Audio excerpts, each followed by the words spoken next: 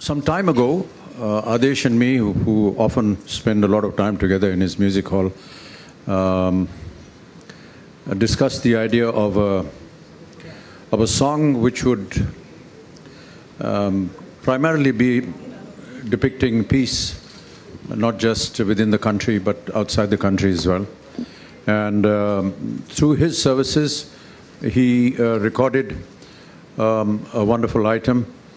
Um, he went abroad, he got uh, some very prominent musicians. He got the London Philharmonic Orchestra to um, put in their very valuable support into this project.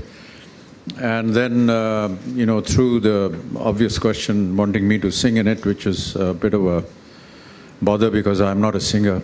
But um, eventually, a lot of people have got together to make this uh, song.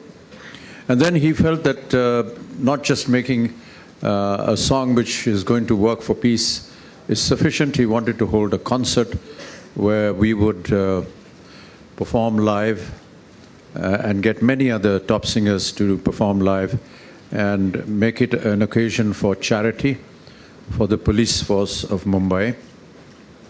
We did have a, an earlier, very small press conference where we had made this announcement and even presented a small check uh, towards the police force. This is soon after 2611. And um, thereafter, we've been working together and how to put together this concert. This is now uh, happening on the 30th of January at the Andheri Sports Complex. And uh, we have uh, all the people that are involved in this the singers, the musicians, the orchestra, everyone coming down.